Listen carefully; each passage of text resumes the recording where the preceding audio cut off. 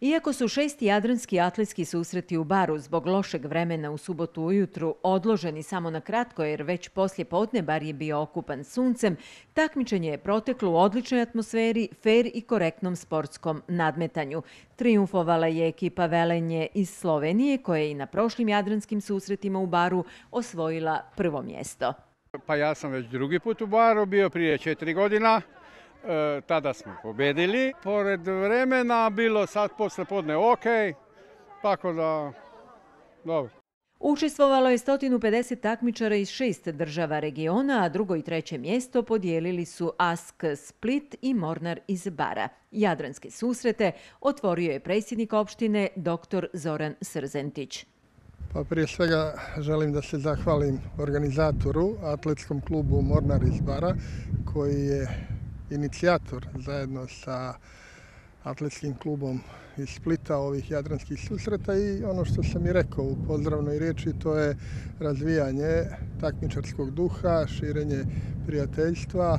Atletika je u našem gradu prepoznata kao jedan od najuspješnijih sportova. Mornar je nosioc toga razvoja. Na jadranskim atletskim susretima u Baru sa svojom mladom ekipom bio je i legendarni jugoslovenski atletičar Dragutin Dado Topić. Više mi je nego prijatno svaki put kad dođem u bar, jer ovdje imam prijatelje što u Mornaru, što u atletskom klubu Sanja, ali na poziv, na poziv Mornara i, i, cijele ove ekipe iz, iz sa takmičenjem koji se zove Jadranski susreti smo ovaj, još smo se dogovorili u maju, obećao sam da ću doći i stvarno je sam prezadovoljan i fantastična atmosfera. Deca uživaju, to mi je najbitnije. Znači, ja, moja ekipa jeste najmlađa, ali ove, ovaj, su se dobro držali, dobro su se pokazali. Predstavnici atletskog kluba Morner kao organizatori zadovoljni su što je još jedan atletski jadranski kup u baru dobro protekao. To je još jedna potvrda da bar zaslužuje da postane Evropski atletski centar. Istakao je predsjednik atletskog kluba Morner dr. Dragoslav Tomanović.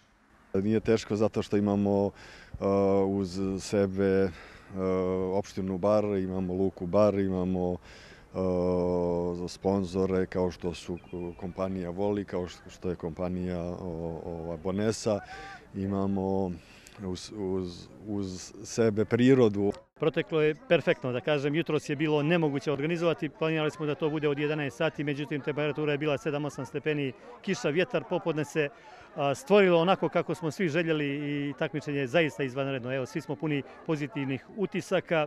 E, još pozitivnije jeste da, da se društvo širi. Iduće godine domaćini Jadranskim atletskim susretima bit će klub iz Skadra na novoj atletskoj stazi.